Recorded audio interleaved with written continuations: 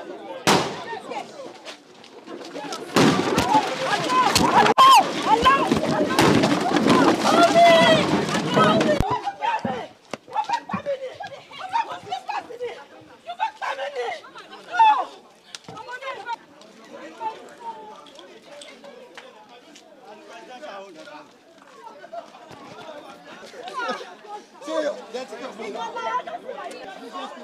That's it. That's it.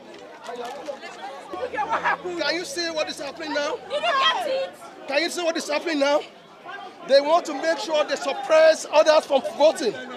This is unfair. This is madness. This is not civilization. This is what they call criminality and corruption of the highest order. When you have to, when you have to desensitize mass majority of people from voting, this is not good.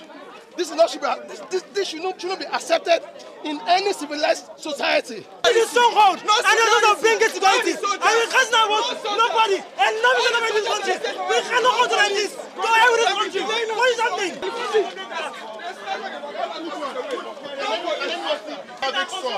They're going to continue.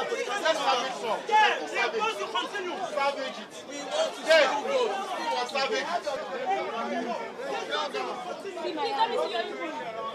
were about to vote. Then we saw them. They came out of a car and shot in the air. They were not started running. Then some group of people fell. I was among them that fell there. That fell down there. So there was a sort, sort of stampede around there. That's where I. I, I'm, I'm, I'm so lost. I'm very lost. Now it's going to enough the law. Let's continue. It's very sad.